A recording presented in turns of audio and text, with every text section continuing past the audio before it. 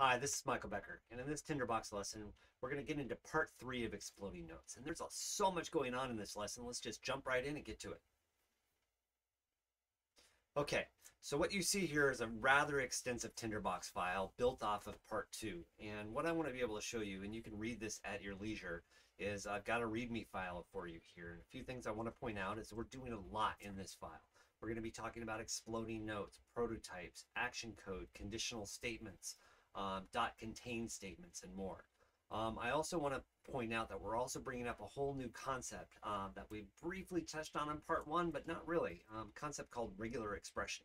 And regular expression is a uh, uh, text matching pattern um, methodology that was developed back in the 1950s to help computers understand, manage, and process and match text. And we're going to show you how that works today.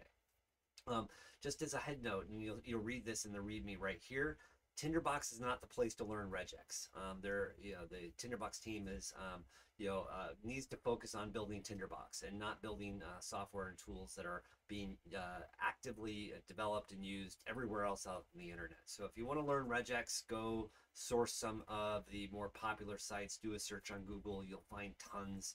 Uh, and there'll be um, solutions out there to help you learn regex. Uh, one thing to keep in mind though is that there are many dialects of regex uh, and Tinderbox is using the Perl dialect of, of regex and that's a really really important point. Uh, but again we'll do uh, uh, lessons in the future about regex so you can learn it more. And then finally um, you know, we'll give you some highlights uh, about how to leverage and use it.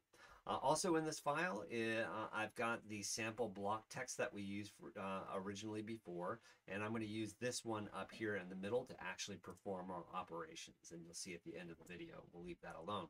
Um, I've got some the sample code um, that we're going to go through here. Uh, and then I've also provided some explanations for rege uh, the different parts of the regex and how they work. Um, I've embedded the images rather than uh, following the practice of linking them to them on my hard drive because this file is going to be a standalone. Uh, one thing, to, and then I've also provided an image to help you understand the parts of regex.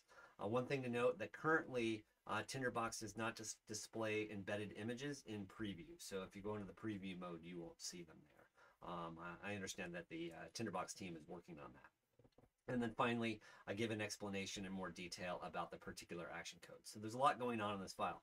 Um, the other thing I want to uh, explain is uh, Mark Anderson, who is the Tinderboxer like myself, uh, and uh, has been authoring for well over 10 years the Tinderbox reference file or the aTbRef that we all leverage and use as our primary source of documentation and, and understanding Tinderbox.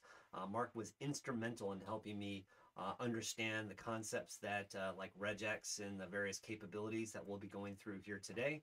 And I just want to do a huge shout out to him as a thank you for um, you know, helping us be able to have this lesson that we have today. So uh, now let me show you the lesson and, and let's dig into the parts. So what we're going to do, and here's our goal. Let's first start with our objective. You know, as we talked about in part two, um, we have various strategies to be able to piece and and and, uh, and pull these different pieces uh, uh, of text apart. And so our objective here, let's just start, be very clear with our objective.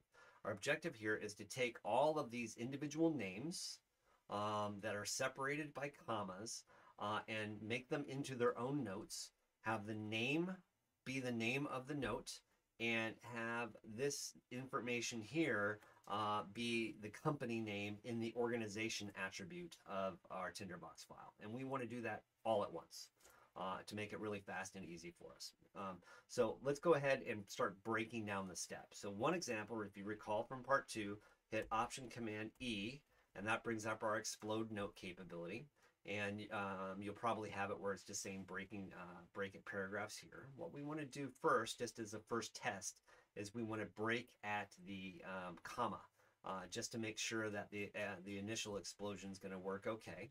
So we explode that note and we see, okay, we've broken all the notes at the comma. So, oops, whoops, sorry. We've broken all the notes at the comma, so that's going to work just fine. Now, the other thing that we want to do too is we want to take a look at our actual code and we want to uh, break it down. So what this code is going to do for us is it's going to first apply the person prototype. Uh, and by the way, if you're applying a prototype in, in Explode, you want to do that as the first element of the action that you do because the Explode itself creates a prototype. And if you do that later in your action process, um, this your applying of your own prototype might get missed um, because of the inheritance issues that happen with um, uh, Tinderbox notes. And we can talk about that in more detail later.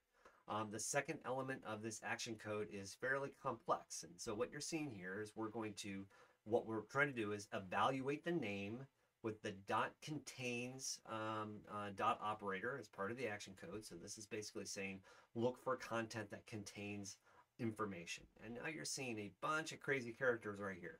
Well, these crazy, crazy characters are regex. So typically what we would do is we do something like name, you know, dot contains, um, you know, parentheses, Becker, right? So if you were looking for my name, you know, in, in, a particular note, we would run it and run and do that search, and we'd be able to do a query using dot contains. Well, up here is kind of saying the same thing, but it's doing it in um, computer speak. Uh, and what it's looking for is patterns. So let me go over here and show you what's going on. So um, as I said, we don't want to be learning regex in Tinderbox per se, because Tinderbox is not the tool to do that. Uh, Tinderbox does a whole bunch of other stuff. Um, so uh, in there is a software tool called BBEdit um, that I find uh, I, and particularly really like. Uh, there's another one called Expressions uh, which is another um, uh, tool that can be quite useful uh, when you're learning to do regex. And then there's also just ca calculators and regex tools up on the internet. Um, so I'm using this TextPad BBEdit, and you'll see here I've entered in the first few lines of text from our um, exploded file. And then what I'm going to do is I'm going to go up to File, New, and then select the pattern playground, which is essentially a regex playground uh, in BBEdit. Uh, and that, that would open up this window here. Uh, and then all I need to do is copy this code right there, right? So in between these two parentheses. So because um, that's this is our regex code right here. So if I copy that and I go over here and paste it here, um, you're going to see what's happening. What our regex is doing is it's matching text. And if I go and open up my example, and again, I'm, I'm, you can read this later at your leisure, but again, when we look at regex, what regex is basically saying and doing is it's saying it's it's looking for like parentheses here. So if it sees two parentheses like like this with regex commands in the middle, that's telling it to create a group, and I'll explain what a group is in a minute. Um, similarly, if it sees characters like this, that's called an escape character. So what it's doing is you know allowing to treating a parentheses like a parenthesis, actually a piece of text, rather than that text being a group. Uh, and then you have other special characters in here, and I'll explain those up here. So, for example, um, the, uh, little caret here says start, you know, start your analysis for pattern matching at the beginning of the line. The brackets say group these characters together. The plus says capture one or more characters in your regex. So essentially what you're doing in regex is you're essentially uh, telling the computer look for these patterns. And so um, what we're if we're doing here, and I can break this up a little bit, I'll like deal this, uh, delete this part of the regex. And so what we're saying with this regex is create a group and start at the beginning of the line, escape out the parenthesis, and look for all of the other text before the parentheses. So essentially what we're doing is telling the regex, find all the information before the parenthesis. Likewise, if we put the other one there, what we're what we're telling the regex is um, go find the go find the company name, and let's go ahead and put that back. Uh, and there's another important piece that I want to show you. Let me copy that here. We'll copy here, and again, this is going to take you a while to deconstruct. I, I would be uh, I wouldn't be surprised at all. Um, so let, us uh, actually let's uh, start a new pattern so we don't uh, discard this pattern. Go up to File, New, New Pattern. Uh, we'll paste this in, and there's our regex again. Now, let's take a big, big breath, and again, remember what's happening here is this uh, this code up here, this language, this computing language that was developed in the 50s is a way to instruct a computer to evaluate patterns in text. And again, the patterns that we're looking for is, going back to our original goal, find this first name, find the company information uh, the inf uh, between the two parentheses. And as I mentioned to you over here, when I go back to my uh, example that I, I, did you here, did here, when you in regex, when you put uh, a, regex uh, a pattern match in between two parentheses, that's telling regex essentially to create what's called a group or in Tinderbox language that's called a back reference. And so what a back reference means is whatever you match in here, stick it in a variable that we can use later. Uh, and so in this regex, what we're essentially doing is creating two variables, um, and in fact three, because there's the original variable, which is the original string. So uh, looking over here at our um, BBEdit Playground, what you're seeing here is here is our regex. It's pattern matching against the whole string, and then we're seeing here what it's capturing in the groups. So group zero is the initial complete string, which is this first line. Group one is the first name, and group two is the information between the two parentheses. So we now know in a tool like BBEdit that our pattern matching is working. Now let's go over to our Tinderbox file and let's just test it before we go try to explode everything. So what I did was I created, and so I hit Command 1 to open up my uh, uh, uh, document inspector, and I click on the stamp uh, item here. And so I left the uh, the um, the uh, code replaced. So if you wanted to do a test here, um, for example, to just apply a stamp and replace the code, you'll see text text dot replace. Basically, look for um, commas and then replace all of those commas with a par paragraph mark. If I go ahead and apply this code to the note, look what happens. It transforms everything just like we did using the explode tool. So that's one way, again, to go, out, go ahead and test that. I'm going to copy this code information and put it back in our sample note because I don't want to mess that up. Um, and now what we can do is we can start testing the first elements of our regex. And so we've exploded our note for the first time in our test. And if you look here, what I've done is I've copied the first part of that regex code right here, this, this part of the regex code right here into a stamp. Uh, and I've made the first uh, that the first group, aka the first back reference. What I'm saying is, you know, make the first back reference my string. So let's go ahead and open up the my string attribute so that we can play with this a little bit. And this is just a really good thing to do when you're, you know, playing with action code and when you've got a bigger file or if you've got a test file is before you start doing a whole bunch of things and a lot of automation that you might not be able to unwind, let's just make sure stuff works. So yeah, I can say if name contains basically information be in front of a parenthesis, um, what we're uh, what we're saying is make that, uh, that because we only have one uh, regex group here, that will become variable number one and stick it in my string. That's basically what we're telling, uh, what we're, uh, what we're uh, having a Tinderbox do. So when I hit apply, guess what? The name Benjamin Andre shows up right here in the first part of the string. Now I did the same thing with the second part of the regex. So I took that, I, I, I then copied the second part of the regex, which you can also copy, by the way, from here in the code. Uh, this is the second part of the regex right there. Um, so if I go back to that file here, I can uh, let's take uh, take this same code, and now what's going to happen?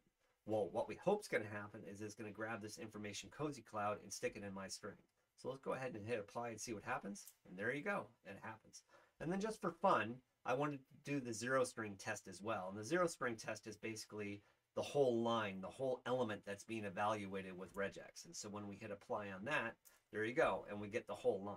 So essentially what's happening when, um, uh, when you're running a dot contains operation is it's, it's essentially saying, take the name, which is this whole line, the whole name, uh, take the first group, which is Benjamin Andre, take the second group, which is the company. So now we know the parts of our action code work uh, which is terribly exciting, by the way. So I'm now going to go ahead and unexplode that note. And again, let's go and evaluate the rest of our action code. What we're doing is we want, uh, because these are people, uh, we want them all to turn uh, be turned into a person prototype. We then, what's going on here? We're basically taking that same code that we just walked through with the stamp, and we're saying take the name dot i contains um, pattern matching um, dot uh, um, attribute in the action code find the first name, find the names before the parentheses, find the information in between the parentheses, and then here's the second part of the if conditional, right? So it says if, so this is the way the conditional syntax works. If whatever the condition is, and in this case, their condition is just pattern match content. Uh, then we and then we say the then, and the then actions here. Here are we saying, take the second variable, the second group, which is this group right here, and stick it in organization take the first group and stick it in name. Take the first group and also stick it in full name. And then this last uh, action, and this is the third element, because if you, if you see the semicolons here, this is essentially saying we have three expressions within this action code. The first one is apply the prototype. The second one is to parse out all the names and put the content, the text in the right places we want. And the third part is then to clear out the body of the text. Because if you remember when we just did the initial action code, um, we, uh, we left that text clean. Now we could do that in the explode as too, um, using the admit capability, which I'll point out in a minute. But since I hadn't done it, or since it's in there, I just wanted to show you that that was another way that we could run that text. Now what, let's go ahead and do it. I'm going to copy this code, this action code that we have here. I'm going to go to our note here and I'm going to hit Option Command E. And that's going to open up our action code element. Now we still want to be breaking this entire paragraph at the delimiter uh, uh, of the uh, comma. And this is going to be the first action within our process and essentially break the notes up into its parts. And then the next action, we want to paste our action code into the explode action right here. So we're pasting in all of our action code into the explode action and we're going to hit explode.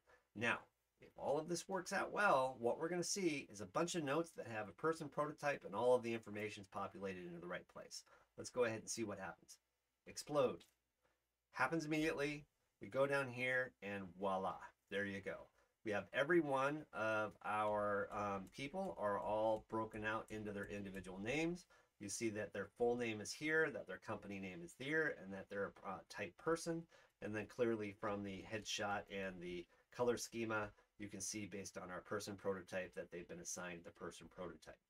And so this was a really fast uh, um, lesson on how to use all of the different elements of Tinderbox to fundamentally transform and manipulate uh, your data to start creating insight and knowledge from it. And if you remember, um, once you start getting really good at this, it's going to be incredibly time saving. Um, so uh, good luck with uh, know, exploring these absolutely exciting and fundamental transformational capabilities that Tinderbox is going to give you to be able to allow you to collect information um, as you're uh, sourcing it throughout the internet, to be able to curate that information, and then from it start uh, creating uh, your own information, then ultimately con contributing your knowledge um, out there into the world as you analyze your notes and, and consider um, all of the meaning that you can get from the uh, from the information that you're processing within your Tinderbox experience.